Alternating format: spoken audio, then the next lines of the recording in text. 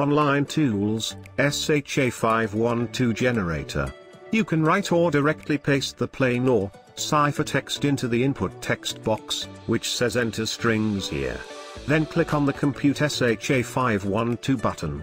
Within a second you will get the result, just beneath the Compute SHA512 button.